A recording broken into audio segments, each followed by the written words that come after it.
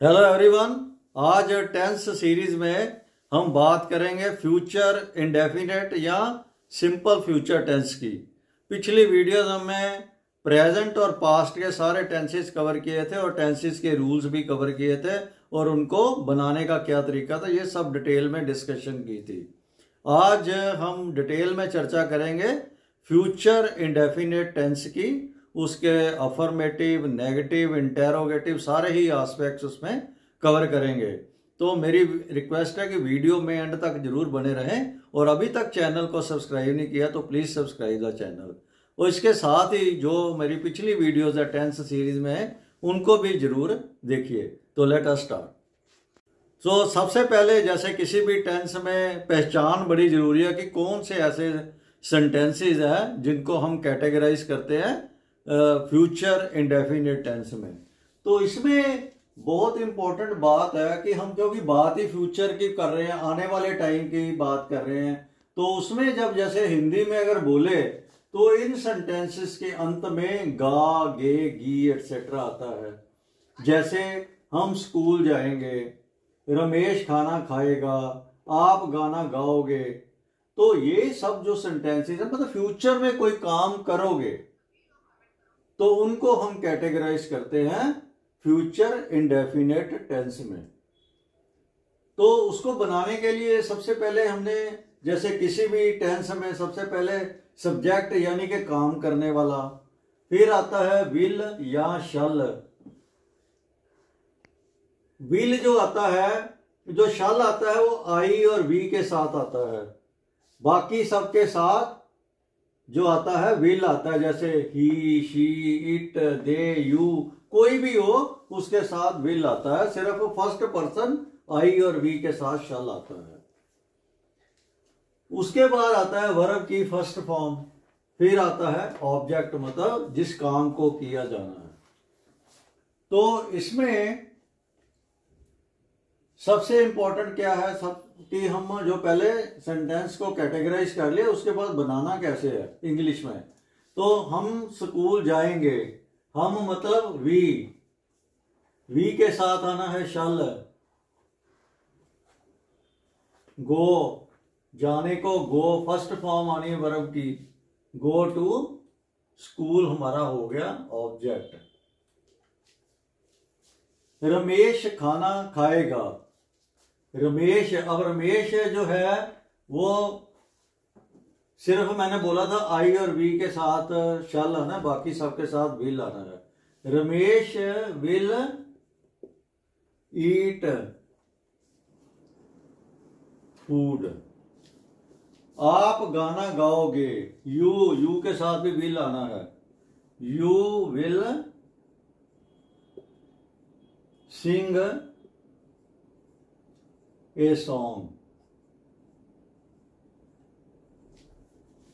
तो इस तरह से जो हम बनाते हैं, इसमें जैसे शल और व्हील का ना, मैंने एक डिटेल वीडियो जो डाली हुई है, व्हील और शल के प्रयोग के ऊपर। वो भी आप ज़रूर देखिए लेकिन अभी के लिए मैं ये थोड़ा सा इसमें और क्लैरिफाई करना चाहता हूँ कि आजकल की मॉडर्न जो इंग्लिश है ना, उसमें शल का प्रयोग बड़ा कम हो गया है। उसमें आप यहाँ आई और वी के साथ भी जो विल लगा देंगे ना तो वो भी करेक्ट ही माना जाता है। और कई बार जो होता है ना जहाँ पे विल है, इनके साथ लगना है, मान लो ही है, इसके साथ भी शल लगा सकते हैं, वहाँ यहाँ कोई कमांड हो।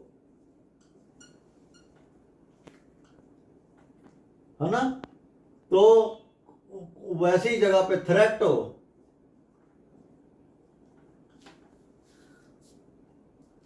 जैसे मैं कहूँ he shall not enter my house किसी को बोलूँ, अपने स्पोन सर्वेंट को बोलूँ keep in mind he shall not enter my house तो वैसे ही के साथ विल आता है तो यहाँ पे हम शल लगा सकते हैं।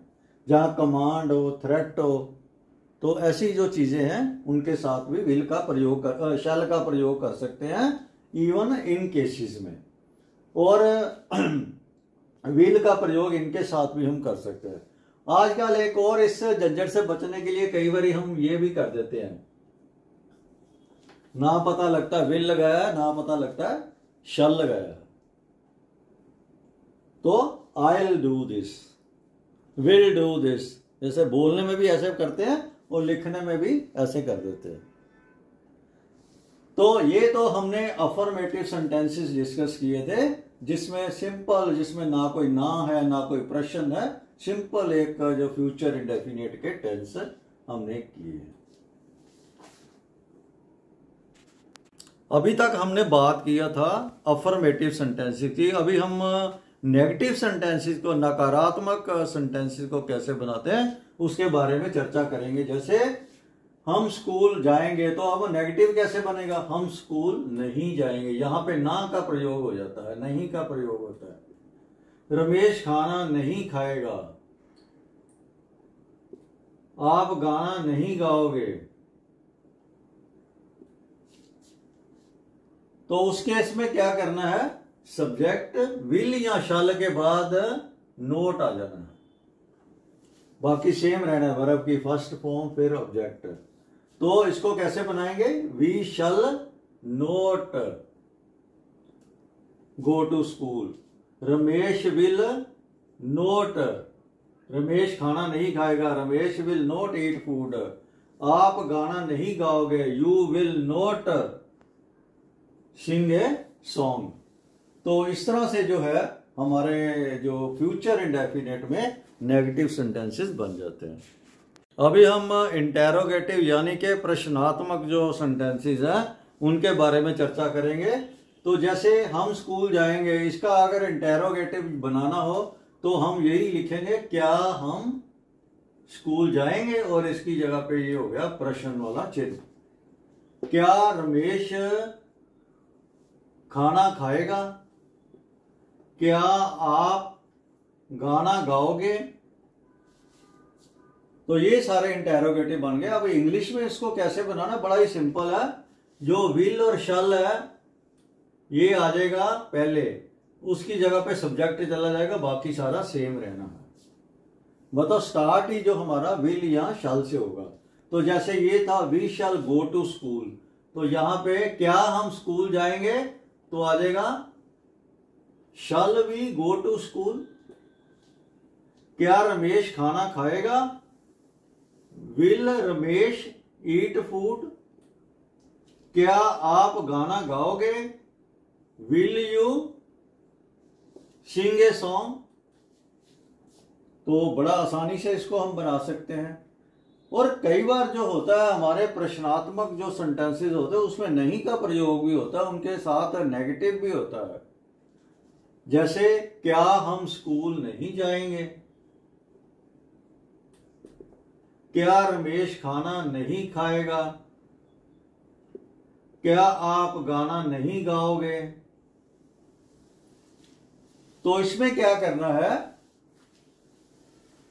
सिर्फ़ सब्जेक्ट के बाद हमारा नोट ऐड हो जाना। जैसे हमने पहले क्या लगाया था? विल या शल आएगा ना इंटेरोगेटिव में। विल या शल फिर सब्जेक्ट सब्जेक्ट के बाद हमारा लग जाना है नोट जैसे will Ramesh not eat food पहले विल, फिर Ramesh not eat food will you not sing a song shall we not go to school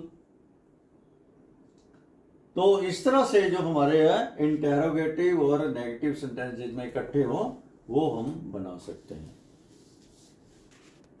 अभी हम देखें हमने जो अभी तक चर्चा की थी, उसके मुताबिक जब भी हम प्रश्न पूछते हैं उन, जैसे क्या हम स्कूल जाएँगे, क्या रमेश खाना खाएगा, क्या आप गाना गाओगे, इन प्रश्नों के जो उत्तर होते हैं वो हाँ या ना में होते हैं। जैसे, क्या हम स्कूल जाएँगे तो कोई यही कहेगा, जाएँगे कि नहीं हाँ या ना में जवाब देगा। लेकिन बहुत सारे ऐसे भी प्रश्न होते हैं जो जिनके हाँ या ना में जवाब नहीं होते, जो डब्ल्यू एच से मोस्टली शुरू होते हैं, जैसे वेयर कब और कहा वेन कब वाई क्यों वट क्या, और साथ में इसके हाउ भी होता है, कैसे। तो जैसे अगर ये कहें कि क्या हम स्कूल जाएँगे, हम स्कूल कब जाएँगे मान लो ठीक है? फिर क्या कट जाता है? रमेश खाना कहाँ खाएगा? मतलब कौन सी जगह पे खाएगा? फिर क्या कट जाता है? आप गाना क्यों गाओगे? मान लो, इस तरह से हो जाए। तो इसमें कुछ नहीं करना है। हमने पहले जैसे बनाया सेंटेंस है कि विल शल पहले आ जाता, उसके बाद सब्जेक्ट आ जाता है। तो यहाँ पे जो स्टार्ट ही इन वाले वर्ड से होगी।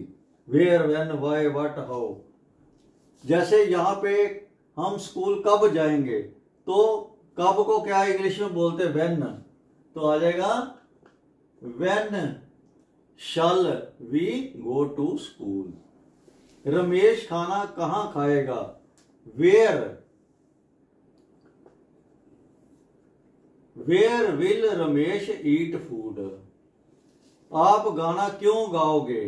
Why why will you sing a song तो सिंपली इन वर्ड से शुरू करना, बाकी वही जो इंटेरोगेटिव सेंटेंस है, उसको वैसे ही रखेंगे तो हमारा जो है, जो इन वर्ड से शुरू होने वाला इंटेरोगेटिव वो बन जाएगा। फ्रेंड्स कई बार जो हम फ्यूचर इंडेफिनेट टेंस की जगह पे हम यूज़ करते हैं गोइंग टू मतलब उसका भी सेम होता है कि वो फ्यूचर की रेफरेंस में ही हम बात करते हैं। तो कब करते हैं वो हम देखेंगे। जैसे हमने कोई पक्का फैसला कर लिया कोई काम करने का, तब हम उसको गोइंग टू फॉर्म में, यानी कि उसको समझो प्रेजेंट कंटिन्यूस टेंस की फॉर्म में यूज़ करते हैं। जैसे कभी हमने पक्का इरादा कर लिया, कोई have you decided what to you एक आदमी दूसरे से पूछता कि, क्या आपने फैसला कर लिया कि क्या करना है। तो उत्तर मिलता है yes I am going to resign the job मैं कहने, वो कहना ये चाहता कि मैं जॉब को छोड़ दूँगा। तो लेकिन यहाँ पे हम विल नॉर्मली क्या होता? I shall resign the job I will resign the job जो भी यूज़ करना चाहे। लेकिन यहाँ पे हम करेंगे I am going to resign क्योंकि फैसला हमारा पक्का हो गया है। तो I am going to resign the job मैं तो जॉब छोड़ने वाला हूँ। मैं छोड़ दूँगा। जब कोई चीज़ सर्टन बिल्कुल पक्की सी हो जाए, कि हालात को ध्यान में रखते हुए, जैसे हम कहें कि there are clouds in the sky आसमान में बादल हैं। It is going to rain it will rain नहीं it is going to rain तो यहाँ पे भी हम गोइंग टू का प्रयोग करते हैं। कई बार फ्यूचर की रेफरेंस होती है। हालाँकि वहाँ पे फ्यूचर इंडेफिनेट टेंस यूज़ होना चाहिए, लेकिन हम यूज़ करते हैं प्रेजेंट इंडेफिनेट तो वो देखते हैं कौन सी ऐसी सर्कमस्टांसेज होती हैं। तो सबसे पहले जहाँ पे कोई ऑफिशियल प्रोग्राम्स होते हैं, वहाँ पे टाइम टेबल बिल्कुल फिक्स होता है डेट फिक्स होती है टाइम फिक्स होता है, तब हम प्रेजेंट इंडेफिनेट का यूज़ करते हैं तो फ्यूचर इंडेफिनेट का नहीं यूज़ करते। जैसे the college open on thirty first October जो कॉलेज है, वो थर्टी फ़र्स्ट अक्टूबर को खुलेगा। हम बात करें आने वाले की, कि हम लेकिन यूज़ करें ओपन मतलब प्रेजेंट इंडेफिनेट हम ये नहीं यूज़ कर रहे कि विल ओपन दूसरा देखो the train departs at six P जो ट्रेन है, वो छह बजे जाएगी। उसका टाइम टेबल फिक्स है, जाना ही छह बजे है। तो तब हम उसको विल डिपार्ट नहीं लिखते, हम लिखते हैं डिपार्ट्स जाएगी। कई बार जो होता है if unless when while before after until as soon as ये वर्ड्स होते हैं, इनके बाद हम यूज़ करते हैं प्रेजेंट इंडेफिनेट हालाँकि रेफरेंस फ्यूचर की भी होती है। I won't go out if it rains मैं अगर बरसात होगी तो मैं बाहर नहीं जाऊँगा। तो हम यहाँ यूज़ कर रहे I won't go out if it rains it will rain नहीं। क्योंकि ये वाले वर्ड्स जहाँ भी आते हैं ना, हम यूज़ करते हैं, इसके साथ present indefinite please ring me up as soon as he comes कृपा करके जैसे ही वो आएगा तो मुझे बताना। Please ring me up as soon as he comes मतलब हम कह रहे हैं वो जब आएगा तो लेकिन हम यूज़ करते हैं ही कम्स ना कि ही विल कम तो दोस्तों, हमने कंप्लीट डिस्कशन की है फ्यूचर इंडेफिनेट टेंस में। तो मैं उम्मीद करता हूँ कि आपके सारे भी, जो भी डाउट्स है इसके बारे में वो क्लियर हो गए होंगे। और अगर वीडियो पसंद आई हो तो please like subscribe share and comment thank you very much